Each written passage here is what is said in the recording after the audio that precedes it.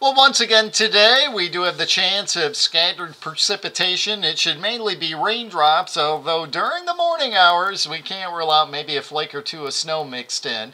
Looks like dry weather for us Wednesday and Thursday, and then our chance precipitation goes up again for the end of the week. That should come down in the form of rain.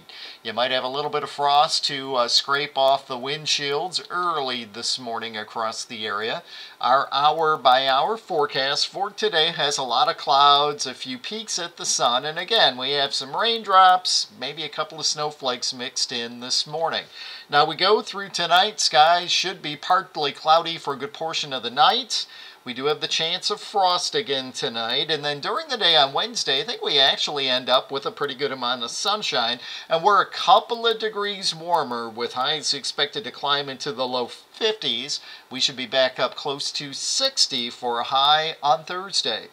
For today, it is scattered showers, mainly raindrops, although again, in the morning, it might be a couple of snowflakes. Temperatures again today topping out in the mid to upper 40s. For tonight, we're partly cloudy. Could be some frost around tonight. It's another night where we are below zero or below freezing as far as temperatures are concerned.